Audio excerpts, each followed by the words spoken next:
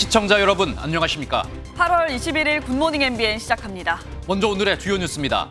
한미일 정상회의를 마치고 돌아간 기시다 일본 총리가 곧바로 후쿠시마 원전을 찾아 오염수 방류 설비를 처음 시찰했습니다.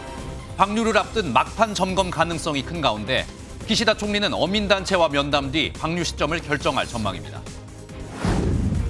서울 신림동 공원 피해자가 사망하면서 경찰이 성폭행범에게 강간치사보다 형량이 무거운 강간살인죄를 적용했습니다.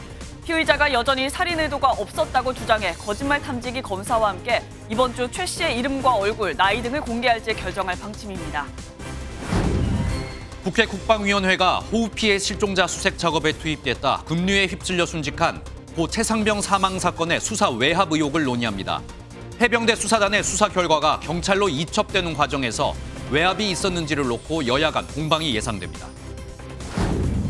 만 10살의 나이로 올해 3월 서울과학고에 입학했다 한 학기 만에 자퇴한 백강현 군의 아버지가 학교 폭력이 원인이라고 주장했습니다.